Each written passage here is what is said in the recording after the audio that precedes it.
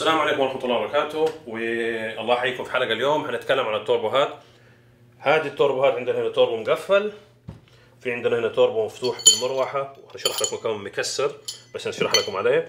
وعندنا هنا ال intercooler آه، تكلمت قبل كده على التوربو supercharge. معلش أصابعي سوداء شوية مع الشحم. فتكلمت لكم قبل كده على التوربو supercharge. اليوم بس حنتكلم على التوربو. الناس خايفة من التوربو وكله يقول لك التوربو ما اشتغل في بعض الأساطير عجيبة شوية ما ينفع التوربو في جو الحار الأمور هذه كلها ليش التوربو؟ التفاصيل دي. حناخذكم عليها اليوم بشكل بسيط نشرح لكم ليش إيش الفوائد عشان إيش والمبادئ الأساسية حقت شغلها. خليكم معنا اليوم. عام 1900 عفوا عفوا عام 1885 أول احتراق أو 1884 كما تعرفوا أول احتراق داخلي محرك احتراق داخلي صنعته شركه مرسيدس بنز اللي اسمها مرسيدس بنز 1885 يعني بعدها بسنة. المهندس الألماني جوتليب ديملر طبعا واضح الاسم آه الراجل إيش اللي صنعه. اخترع آه سجل براءة اختراع آه عن طريق طرمبة هواء عن طريق السيور السير ميكانيكية. فبتضخ هواء داخل غرفة الاحتراق داخل السلندر فسموها super charge. هذا عام 1885 أول محرك احتراق داخلي 1884 عام 1905 مهندس سويسري. الأولاني كان ألماني جوتليب ديملر اللي هي super charge 1905 المهندس ألفريد بوتشي سويسري. كان شغال في تطوير المحركات الديزل. اخترع التوربو. التوربو اللي هو الشهير التوربو اللي إحنا هنا قدامنا. شغال بنفس الطريقة بس بدل ما إنه مربوط بسير زي ما شرحت لكم في الفيديو حق التوربو super charge بيستخدم الهواء الهواء المطرود اللي هو هواء الغاز الحار اللي من الشكمان الطاقة المهدورة دي بحرك مروحتين والمروحتين هذه بتحرك الهواء بتضغط الهواء داخل المحرك. الآن كلمة boost كلمة boost اللي هو الضغط أي ضغط تم آه الضغط فوق الضغط الجوي الضغط الإضافي اللي فوق الضغط الجوي واللي تم تحقيقه داخل راس المحرك ال intake manifold مداخل الهواء هو هذا يسمى boost الضغط. عشان كده كم مرة كنت أتكلم مع الناس لما يجي يقول لي ضغط الماكينة أقول له لا. دوران المحرك ركز على الكلمة دي احفظها تماما غير ضغط المحرك. في ضغط اللي يجي مع توربو super charge وفي انضغاط ده بيكون في نسبة الانضغاط حقت البستم من جوا. فريت آه نحفظ المسميات. أنا ما أقدر أصلح للناس أغلاطهم اللي حابب يسمي آه زي كلمة أحيانا قبل كده شرحت كلمة شاص وشاس. أو شاسيه وكلمة آه فيتك أو فيتك اللي كاختصار الكلمة. أنا اديكم المسمى الصح وبعد كده من حب يصلح نفسه فهو هذا متروك له تماما. في نفس النقطة هنا كلمة اللي يقول لي ضغط المحرك لدوران المحرك يقول له ضغط أربعة أقول له نعم الله عليك ركز. الآن ليش ليش شرحت الحكاية دي أول؟ لأنه بنوصل للمواضيع دي الآن. فالضغط ال boost الضغط في رأس المحرك فوق الضغط الجوي سواء من توربو super charge هو ده يسموه ال boost وقديش ال boost نوصل له وكم توربو وكل توربو وكم ال boost حقه هذا حنوصل له. خليكم دحين حنشرح لكم بالتفصيل على باقي التفاصيل على باقي التوربوهات وإيش المميزات حقت عيوبها. فكروا في التوربو الله يسلمكم كالآتي. صديقكم الوفي وحشرح لكم مثالين يعني عشان يمكن تكونوا. زي اللي طالع مقناص صيد. فعادة بيكون معاه إما صقر بيصيد فيه أو كلاب سلوقية أكرمك الله عشان تساعده في الصيد. التوربو وينطبق نفس الكلام على super charge اعتبره الصقر حقك النسر اللي شايله معك أو الكلب السلوقي أنت اديت أمر للسيارة حطيت عينك على البندقية تبغى تصيد هذا. فاديت أمر للسيارة أبغى السيارة توصل لسرعه فلانية أو لمكان الفلاني. فالتوربو اللي هو عبارة عن النسر أو الصقر حقك أو الكلب السلوقي يكرمك الله هو اللي بيروح بيعمل الشغل ده كله ويجري يجيبها فهو ده التوربو. ليش التوربو؟ بعيدا شوية عن قلنا إنه المستقبل الآن ال new trend ال fashion الموضة الجديدة الآن تصغير المحركات تقليل الانبعاثات السامة تقليل صرفية البنزين. من ضمن الأشياء هذه الله يسلمكم تخفيف وزن السياره، تخفيف وزن السياره بدل ما أحط 8 سلندر تؤدي نفس الاداء حقها ممكن أجيبها بأربع سلندر. فالآن شفنا الفولفو شفنا مرسيدس شفنا بي إم دبليو الألمان عموما الأوروبيين عموما. الأمريكان ابتدوا يدخلوا شوية شوية في التوربو. الشركة شركة نيسان لها باع طويل يمكن في جي تي آر. وفي في الإنفينيتي في الأربع سلندر والستة سلندر وبعض يعني ابتدت شوية شوية زحمة التوربو توصل لهم. الشركة لكزس كمان برضه من الشركات عملاقة ابتدوا على نطاق خفيف في التوربو والآن كل ما لهم بيتوسعوا آه الكوريين موجودين في التوربو الصينيين موجودين في التوربو فالكل الآن داخل في التوربو آه فالفكرة كلها تخفف وزن السيارة. من ضمن القطع اللي يتم تخفيفها في وزن السيارة وزن المحرك. فبدل ما يكون عندك 6000 CC أو 7000 CC 8 سلندر فاربع سلندر 6 سلندر مع twin turbo أو واحد توربو تأدي الغرض. فتخفيف الوزن تقليل الانبعاثات آه، فعالية أفضل وأداء أفضل. هذه كل دي الأشياء توفر لك هي التوربو. فعملية اللي يقول لي والله التوربو يخرب في الجو الحار وما في الجو الحار. ترى شوف المنطقة دي والمنطقة دي الله يسلمك كلها شغالة. والجهاز ال intercooler اللي هو مبرد الهواء اللي هو راديتر الهواء. هذه كلها موجودة عشان التوربو يشتغل في الجو الحار في الجو البارد ما عندك مشكلة ابدا. وحنتكلم على أنواع التوربو الآن. فاللي بيقول لي عملية التوربو ما يشتغل كويس في الجو الحار معلش أعذرنا بالكلمة دي. ما في شيء على الإطلاق. فهو بيشتغل على شكمان حار وهواء حار مولع زي النار وما عندك مشكلة. فهذا النقطة. الآن التوربوات صارت تتصنع غالبيتها من السيراميك. أيام زمان كانت حديد زهر حديد صلب وتتكسر. كم يعيش معك التوربو؟ يعيش معك التوربو بعمر متوسط 6 7 سنين. إذا بتراعيه كويس التوربوات الجديدة إذا بتراعيه كويس ممكن يعيش معك فوق العشر سنين. إذا أنت من النوع اللي يكرف وحرق وحرق وحرق وحرق عندك ثلاث سنين حتكون فنيت التوربو فيها وتغير واحد ثاني جديد لأنه عبال فكوا في بعض يعملوا rebuild reconditioning إعادة بناء أو شيء زي كده. وحوريكم دحين بعض القطع حقت التوربو كيف يشتغل طبعا التوربوهات لها أنواع حنوصل لها الآن. بس حابب اوصل حاجة واحدة. التوربو بيتم تصميمه يعني الهدف منه موجود. تبغى والله سيارة سوبر رياضية توربو الواحد 600 حصان و900 حصان و1200 حصان التوربو الواحد فيه موجود. تبغى للعزم تريلات ديانات ديزل. يا سلام إن شاء الله زي العزم عشان زي السحر كذا من كثر ما هو جميل. حسب أنت مطلوب إنه يشيل أحمال أوزان ثقيلة ديزل تلاقي بسرعة اشتغل التوربو معاها. وابتدى على طول تلاقي السياره ما شاء الله 9 10 نمر بحيث إنه ما ينقطع نفسها. يا دوب ادالك الزخم اللي أنت تبغاه اللي هو عشان تشيل الحمولة الاطنان هذه اداك إياه بسرعة. لا والله أنا عندي سياره صغيرة جدا وأبغى بس إنه وزنها خفيف أبغى بس شوية آه، أبغى 1600 CC أو أو حتى 600 CC. وأبغى حاجة صغيرة جدا يا دوب بتديها شوية هواء نفس بسيط. أوكي هذا توربو على قدام. أبغى توربو لا بس حق القومة بحيث يدي السياره سياره عائلية. ما أبغى سرعة عالية منها فأبغى الله إنه هذا توربو يدي بس العزم ويخلي السياره تقوم الفزه حقتها الصغيرة. تلاقيه في سيارات زي المازدا الجديدة 69 تلاقيه ممكن في حاجة زي الله يسلمكم الفورد ال Expedition twin turbo جديدة الآن. آه تلاقيه في الكاديلاك ال CT6 بحيث يديك الزخم وال mid-range العزم العزم المتوسط ويبتدي معك مسافة طويلة عريضة. يبتدي حتى ال band يكون يعني العزم جاي على band عريض آه بعرض طول ما أنت ماشي ما يخلص معك وال gearbox يكمل معك النسب 7 8 9 نسب وزي ما ال F-150 الجديد آه نازل معنا بالشكل ده. لا والله نبغى شيء حق آه، رياضي بحت زي ما قلت موجود حق عزم وأحمال اوزان موجود وحق آه، برضه يجي كمان في الديزل موجود. فحسب مخصصينه لكل سيارة حسب المطلوب منها إيش مع تقليل حجم صرفية البنزين وانبعاثات والضرائب المفروض عليها بيتم استخدام التوربو. طيب نخش مهم. هذا توربو التوربو هو هنا الله يسلمكم. شوفوا. هذا توربو كويس. طبعا شركة HKS معروفة تماما. شركة HKS معروفة شركات عملاقة. هذا فتحتين هنا. حنوريكم وشوفوا ناحية ثانية التوربو لاحظوا لما برمت التور لما برمت المروحة كملت برم معنا من هنا. وخلينا هي إذا كملتها كمان من هنا شوفوا اهي اهي بتبرم. الفكرة كيف الله يسلمكم؟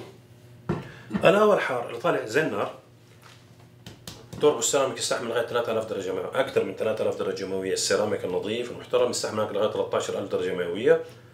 سطح الشمس 3000 درجة مئوية. سطح الشمس مش باطنها باطنها مصيبة ثانية بس السطح 3000 درجة مئوية. كفانا الله وإياكم النار والحرارة وشرها. الآن الهواء الحار بيطلع من الشكمان الله يسلمكم طالع يجري طاير من هنا. فهو بيطلع الهواء بيبرم المروحة دي. مروحتين متعاكستين على قضيب آه عمود حديد رفيع جدا. بتصنع في التربات النظيفة من المغنيسيوم والتيتانيوم. فتلاقوا اللي هشرح لكم هو الآن. زي ده هذا ممكن يجي وزنه حوالي 7 8 جرام. من كثر ما يكون وزنه خفيف والهدف آه منه حنشرح لكم كمان الآن في انواع التوربو إيش يصير الآن التوربو طبعا المروحة الثانية موجودة هنا. شوفوا. بس عشان ما فكناها هي هذه المروحة الثانية وهو هنا. بتحط بالشكل ده يتشابك معاها فتلاقي الله يسلمكم المروحتين يتشابكوا بعض. طبعا هو لا فكوا ليه لأنه تكسرت المروحة. وهنشرح ليه الهواء خارج من هنا. sorry. الهواء خارج ابرم الشكمان مش من الهواء الحار بالشكمان. تبتدي المروحة موجودة هنا تشتغل تبرم معها. وهي بتلف المروحة الله يسلمكم. اهو هنا حتى في نوع من الرومان بيلي هاي تتلف sorry معلش. مزعجة. أهو شوفوا بتلف الآن هذه بشوفوا تلاحظوا انه بتلف. هنا بيكون المروحة الثانية. المروحة الثانية متعاكسة معها. فده الهواء الحار بيطلع بيلف معاها. دي بتلف بس المروحة جاية بشكل عكسي بحيث إنها تكبس الهواء فالهواء يخش في راس الماكينة.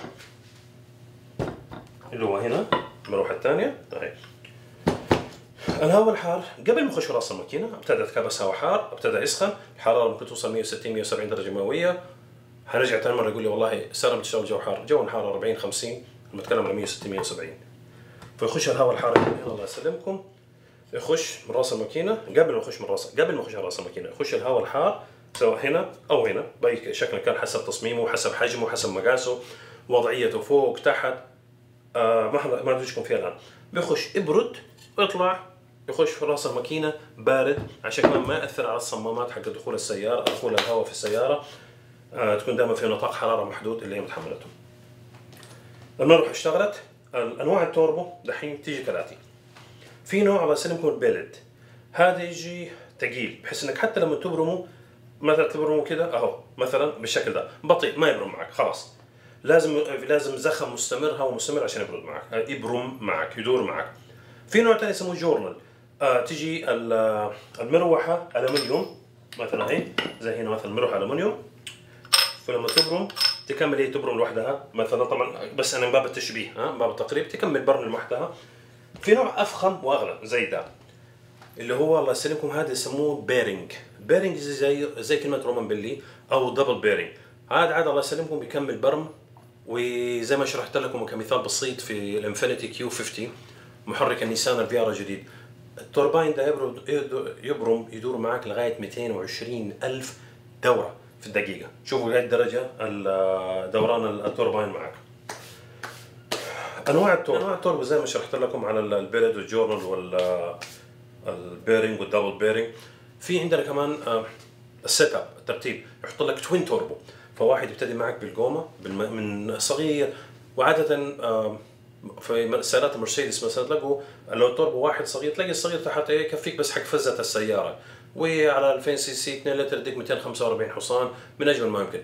الان والله نخش على setup اقوى في twin turbo واحد صغير حق فزة القومة زي ما ال Expedition والثاني ياخذ من العزم من الوسط. يعني هذا يديك بس القومة لين ال 2000 3000 دورة مثلا من 1500 لغاية 3000 دورة أو حتى أقل من 1500 دورة. الثاني يكمل معك مثلا لغاية 3000 لغاية 5000 دورة أو 5500 أو 6000 فهنا حسب التصميم اللي بيحطوه بحيث إنه ما يصير فيه فجوة في النص فاضية. وتلاقي غالبية التوين توربوز ما يقطع ما هذا يقطع وده يستلم. لا تلاقي يوصل لمرحله بحيث إنه ابتدى الكبير قبل ما ياخذ الزخم حقه يشتغل يكون الصغير مكمل معك لغاية هنا دورانه. ابتدى الكبير يشتغل معك من دوره دوران أقل واستلم من أول ما ابتدى ياخذ الفل ابتدى يشتغل عزمه وابتدى خلاص المراوح تدور بسرعة خلاص هذا يستلم من هنا الكبير التوربو الكبير والصغير خلاص ابتدى إيش؟ يطلع من الخط يجنب تماما والكبير يكمل معك. فتلاقي حسب زي ال Expedition عشان أوزان وحجم ويكمل معك وحمولات وسحب أو تلاقي زي GTR جنان في جنان أو 911 twin turbo. لا يعني لعمليه إنه ألحق بسرعة بسرعة يعني أحصنة والعزم وعشارة الثواني في الحلبات أو أجزاء من عشارة الثواني في الحلبات كلها مهمة. فلاقي ال setup حق التوربو يكون مختلف. الآن خلصنا من twin turbo وشرحت لكم ثلاث أنواع التوربو وتركيباتها من تركيباتها من داخل. نخش على نوع جدا مش مشهور. موجود في فولفو موجود في فراري وفي سيارات كثيرة ابتدوا يعتمدوه اللي يسموه twin scroll. وشرحت عليه قبل كده. قلت هذا كأنهم twin turbo بطن بعض. بمعنى التوربو الواحد كأنه يكون آه كأنه في طقمين مراوح أو المروحة واحدة كان لها زي آه نوعين من الشفرات فتشتغل بجزئين فكأنها اثنين توربو مضاعف. فما يلحق ياخذ وقت طويل عشان يشتغل وإذا اشتغل يدي مفعول سريع. فهذه كمان twin scroll في نوع ثالث اسمه في جي تي في جي تي فاريبل جيومتري اللي هو المتحرك. هذا زي البورشه 911 twin turbo هذا الريش حقته متحركة. ذكي جدا عبقري جدا فنان جدا. إذا في عالم الناس مثلا بروحوا يتفرجوا على مغني هذا قائد أوركسترا لوحده آه أو قائد فرقة باليه لوحده. بس طبعا التوربو ده ب 30000 ريال. فكمان عشان نكون حق نكون واضحين VGT عبقري جدا ومراوحه عنيفة جدا وتتحرك من صغيرة لكبيرة من ضيقة لواسعة. هي لوحدها المراوح من جوا في التوربو تشتغل بس بالسعر تجي. فطبعا كل حجرة لها أجرة والسيارة هذه إيش؟ أكيد لها أصحابها وعشاقها.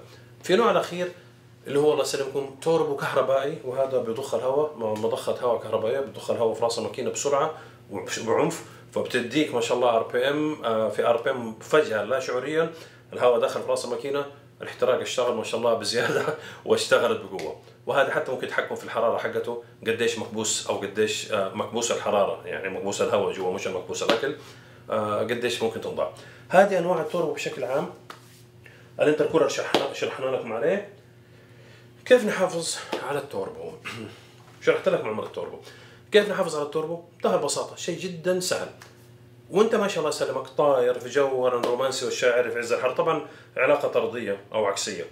كل ما يبرد الجو أكثر كل ما التوربو يتنعنش معك أكثر لأنه بيدي بيساعد ال intercooler في شغله بشكل أفضل وبيبرد الهواء فتزيد كثافته فتزيد فعالية الاحتراق. كيف نحافظ على التوربو؟ سهلة. آه هنا أنا ملاحظ التوربوهات اللي هي طرق معينة. خلينا نخش على ال intercooler في التبريد. التبريد يجي هنا يا إما هواء لهواء أو هواء لموية أو هواء لزيت. وهنا آه بحيث إنه مربوط يعني خبط الهواء بيضرب فيه مع راديتر موية أو مع آه طرمبه الزيت بتساعد في التبريد. هنا عندنا كمان في هذا نوع ياخذ نوعين من التبريد. نوع موية ونوع زيت عشان كمان يحافظ على تبريد التوربو. التوربو فين بياخذ الزيت حقه؟ بياخذ التوربو الزيت من زيت الماكينة. كيف نحافظ عليه؟ والموية من الراديتر منفصل أو في نوع بس تبريد واحد مثلا موية أو بس الزيت لازم آه، بياخذوا من آه، من زيت الماكينة. كيف نحافظ عليه؟ أول شيء أرجوكم خذوا زيت جدا نظيف، أنا إذا أسترخص أنا عادة احب اراعي سيارتي، إذا استرخصت في أي شيء في سيارتي ممكن أسترخص حاجة هنا أو هناك أو اكرمك الله فرشات أرض أو دعاسات إلا حاجتين ما أسترخص فيه ابدا. لا زيوت السيارة ولا كفرات السيارة، كفرات السيارة وفرامل عمري معلق عليها. الزيوت أنا عارف أروح اشتري أغلى نوع مهما كان غالي إلا ما أشوف فائدتها على قدام محافظ لي على التوربو محافظ لي على الماكينة محافظ لي على البساتم الإنتيك الصمامات محافظ لي على السيارة بشكل آخر حتى عافية السيارة بتكون أنشط من غيرها ولو كانت ماشيه أكثر منها طيب اللي بيصير؟ عشان نتفادى حاجة يسموها oil sizzling أو oil coking ما تيجي طاير وتطفي الماكينة على طول فاللي يصير التورباين لسه بيدور جوا التورباين. شو هذا التورباين؟ مكسر لاحظوا؟